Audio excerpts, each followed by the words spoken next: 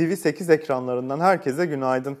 Ben operatör doktor Mehmet Bekir Şen. Kadın hastalıkları ve doğum uzmanıyım.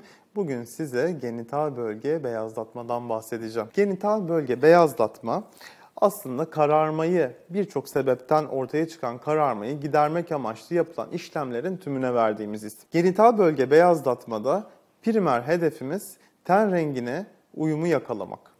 Burada önemli olan kişiye özel renk dengesi nasılsa bunu bir şekilde sağlamaya çalışmak. Kişiler bir şekilde lazer epilasyon sonrası, doğum sonrası, bazı hormon ilaçlarının kullanılması sonrası veya obezite cerrahileri sonrasında genital bölgelerinde kararma problemleri yaşayabilirler. Genital bölge kararması arzu edilmeyen ve aynı zamanda özgüven problemlerini de bazı hastalarımızda beraberinde getirebiliyor. Genital bölge beyazlatma işlemlerinde radyo frekans uygulamaları, genital lazer uygulamaları, özel kremler ve bazı kimyasal peelingler kullanılabilir. Genital bölge beyazlatma işlemlerinde cerrahi bir kesi ya da cerrahi bir dikiş yöntemi uygulanmaz ve hasta işlem sonrasında rutin günlük hayatına devam edebilir. Ağrısız acısız yapılan bu genital beyazlatma işlemleri sonrasında kişiler hayatlarına normal bir şekilde devam edebilirler.